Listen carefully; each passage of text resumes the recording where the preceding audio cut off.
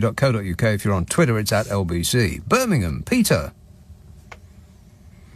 Birmingham, Peter. Ah, there Hi, you Nick. are. Yes, Peter.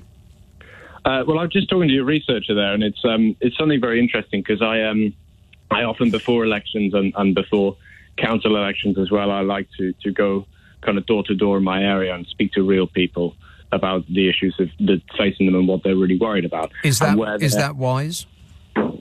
Um, yeah, yeah. I, I, I, I like to. Uh, I like to. I mean, I'm very close to the people in my area, and I like to kind of understand uh, more, like where people. Are you are you running for office? No, no, no. You, Um, ju- you just not. like to talk to strangers in your area about what they think. Yes, because I think it gives you a different perspective than what you get on, on, on social media. Yeah, but and it gives. it seems a bit weird to knock on strangers' doors and just ask them what they think for no other reason than um, enlightening yourself.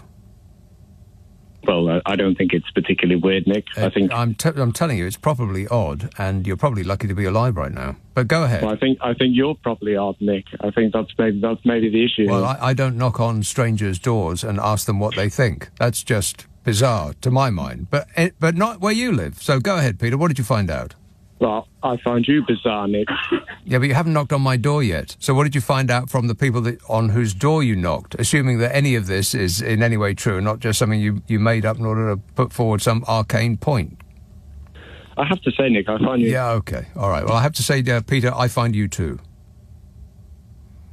Uh, doubly so. With cream on top. Another listener with material. Oh, no. Painful. Jay says the song uh, Things